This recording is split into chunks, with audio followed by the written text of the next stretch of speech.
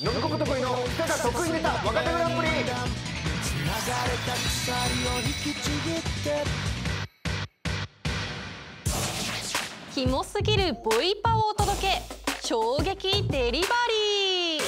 どうも衝撃デリバリーです。お願いします。お願いします。いや俺さこうカラオケ行ってもねこう歌がうまくもないしこうなんか下手でもないからこうなんか全然盛り上がんないんだよね。あー難儀な体だね。うん。まあ別に体どうこうの問題ではないと思うけどね。うん。俺は完璧に盛り上げることできるけどね。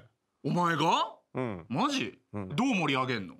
じゃあ俺盛り上げてあげるからうん。いつも通り歌ってみて。うんうんうん分かった。失礼します残酷な天使のように少年よ神話になれブブブアリブブアリブブブブブブブブリブブブブブブブブブブブ青い風がちょっとちょっとちょっと待って待ってちょっと待って待って言わなきゃいけないこといっぱいある歌っちゃったねそこじゃねえからえ何今のなんかベーベーベーってやつああボイパボイパ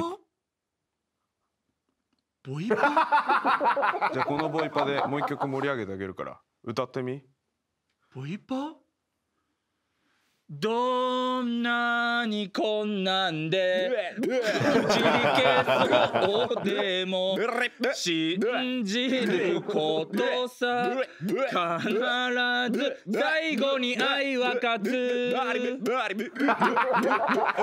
気持ち悪いよ。気持ち悪いな。えボイパ？これ本当に。じゃなんかボイパってもっとさなんかこうとかさなんかこうベンベンベンベン。やめてやめて気持ち悪いから近づいてくんなよベンベンでじゃなんかもっと YouTube のヒカキンさんとか見てボイパもっと見習った方がいいよお前いやいやヒカキン見て勉強したんあだよそうなのそうはよくない面白いですねあの目があるからあの色眼鏡してんのかな逆にですかうんなんか色眼鏡最初嫌じゃなかっただって違和感あったけどありましたあのあったけど。目をひんむいた時に 黄色がないと多分見てらんないでしょ。ちょっとモザイクみたいな。そうそう。思った。だからあれあった方がいいんだね。カモフラージュされてる感じはちょっとね。このネタは芸歴3年目にできたネタです。実は最近ボケとツッコミを変えたので久しぶりに和田がボケ勝山がツッコミでやります。気そうだ。づきました？そういえばそうだったわ。逆だった。でもああのさ見た目のやつがさはい突っ込んでる方が変だよね。普通に考えたらね。確かに